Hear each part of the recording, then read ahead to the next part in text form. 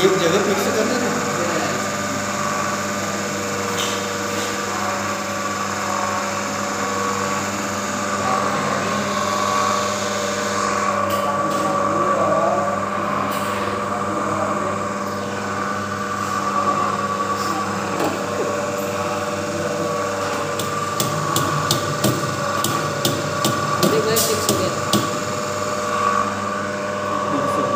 मेरे भाई